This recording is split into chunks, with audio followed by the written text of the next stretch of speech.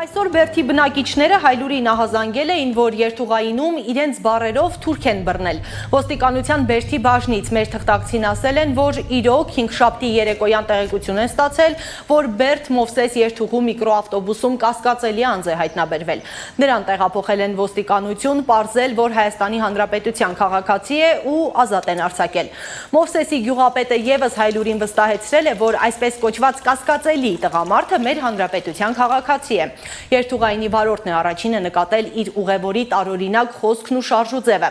Ըստ նրա 45-ից 50 տարեկան տղամարդը խոսել է վատ հայերեն, օգտագործել է թուրքերեն ու ռուսերեն արտահայտություններ, կասկածելի թեմաներ առաջ քաշել։ Ահա թե ինչ են պատմել մեր թղթակցին միկրոավտոբուսի վարորդը եւ Մովսեսի գյուղապետը։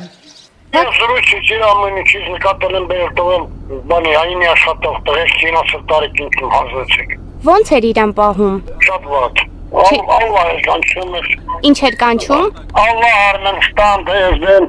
ես մեր հանդեր որ իրանց դիմացերև մա, ասում է թուրքեր են կիսահայեր են, ասում է խիեն են սխողեր տալի։ Հա, այդ թողերն ապստող։ Հատես ես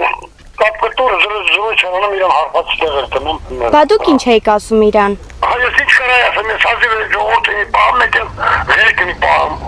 որ հանգած վնաս չլնի մեր հանրապետության քաղաքաց եղել ոչ մի բան չկա այդպես։ Միշտ թուրք, ինչ բան, դե բան չի եղել։